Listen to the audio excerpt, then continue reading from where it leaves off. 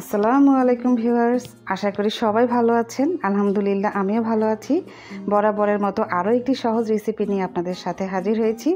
আর আমি আসলে সবসময় চেষ্টা করি সহজ কোনো রেসিপি আপনাদের সাথে শেয়ার করার জন্য, যেটার উপকরণ বাসাতেই থাকে এবং তৈরি করে নেওয়া খুবই সহজ, কিন্তু খেতে খুবই মজাদার। তো আজকেও সেরকম একটি রেসিপি নিয়ে এসেছি, আর এটা হচ্ছে এগ বার্গার বিকেলের নাস্তায়, সকালের ব্রেকফাস্টে এবং বাচ্চাদের টিফিনে এটা কিন্তু খুব ভালো লাগে। তো আশা করি আপনাদের ভালো লাগবে। আর ভালো লাগলে প্লিজ একটা সাবস্ক্রাইব করে দিবেন। চলুন দেখি কীভাবে তৈরি করছি। আমি প্রথমে একটা কড়াইতে একটু তেল দিয়ে দিচ্ছি। চুলাটা জ্বালিয়ে দিয়েছি অলরেডি তেলটা একটু গরম হলেই আমি একটা ডিম দিয়ে দিলাম। এবার ডিমের মধ্যে আমি দিয়ে দিব উপর থেকে কিছুটা পরিমাণ লবণ। তারপর দিয়ে দিচ্ছি একটু মরিচের গুঁড়ি। তারপরে দিয়ে দিচ্ছি একটু গোলমরিচের গুঁড়ি। তারপর এক পিঠ হয়ে গেলে আমি এটাকে একটু উল্টে দেব।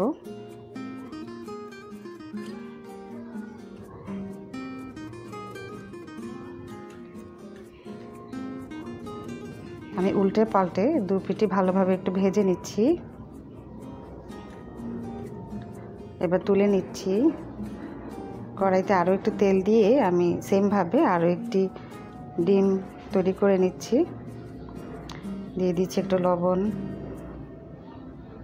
একটু মরিচের গুঁড়ি আর একটু গোলমরিচের গুঁড়ি। বাস এটাকেও আমি উল্টে পাল্টে ভেজে নেব। তারপরে তুলে নিলাম। এবার বার্গার বান নিয়েছি দুটা। এটাকে মাঝখান থেকে একটু কেটে নেব। ঠিক বার্গারগুলো যেভাবে আমরা কেটে নিই। এরপরে আমি আবার চুলায় কড়াই বসিয়ে দিয়েছি এবং একটুখানি বাটার দিয়েছি। বাটারটা পুরোপুরি গলে গেলে, অর্থাৎ গরম হয়ে গেলে আমি সেই বার্গার বান দু পিস করে ভেজে নিচ্ছি। হালকা করে ভাজবো।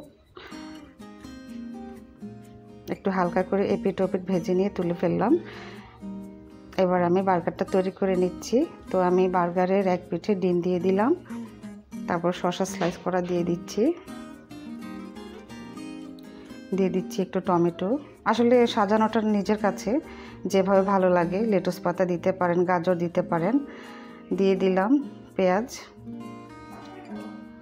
তারপর বানের এক পিঠে আমি টমেটো সস দিয়ে নিলাম। আপনারা দু পিঠেই দিতে পারেন সস। ভালো করে দিয়ে এবার আমি উপর দিয়ে চেপে দিচ্ছি। বাস একটা হয়ে গেল। এভাবে আমি দুটাকেই তৈরি করে নিলাম।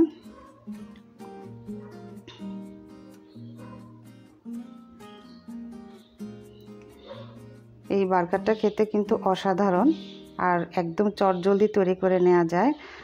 আর খেতে মানে এত মজা, আমার বাচ্চারা অনেক পছন্দ করে এটা। আশা করি আপনাদের কাছেও অনেক ভালো লাগবে। তো আজকের রেসিপি যদি আপনাদের ভালো লাগে, তো প্লিজ আমার চ্যানেলে একটা সাবস্ক্রাইব করে দিবেন। আর অলরেডি যারা আমার চ্যানেলে সাবস্ক্রাইব করেছেন, তাদেরকে অসংখ্য অসংখ্য ধন্যবাদ জানাচ্ছি। তো আজকের মতো বিদায় নিচ্ছি। অনেক বেশি ভালো থাকবেন, ঘরে তৈরি খাবার খাবেন। আল্লাহ হাফিজ